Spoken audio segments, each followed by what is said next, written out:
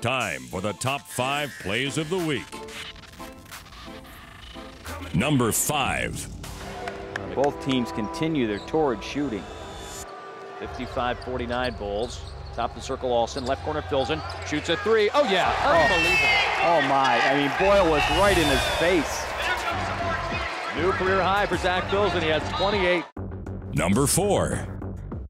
He'll back into the paint of McCrea. Fakes right, turns left, and the turnaround crawls around the rim and spills off into the waiting hands of Jarod Oldham for Buffalo.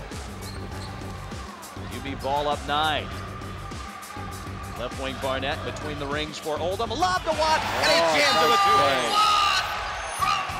Timeout, Ohio. It's a 7-0 Bulls run. There was that lob, this time not coming from the wing as we have seen the last couple of games. This was a lob from the top of the key from Oldham, and Watt with a flush to finish it. Number three. Seven first half points for Mulkey. Cooper driving on Mulkey into the paint, hangs in the air. McCrea rejects his shot out of bounds, all the way over the Bulls bench. Almost Oh. landed in the first row of the seat. Oh. Javon almost hit his mom with that rejection. She's in the second row, and oh. Javon spiked it out of bounds. He probably sending it to her. He almost took Happy his mom Valentine's out. Day, Mom. Number two.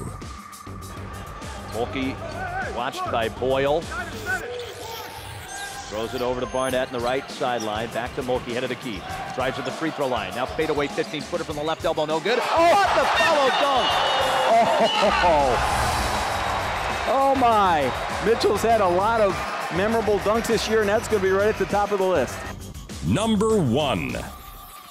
Biggest Bulls lead was 11 when they were up 22 to 11.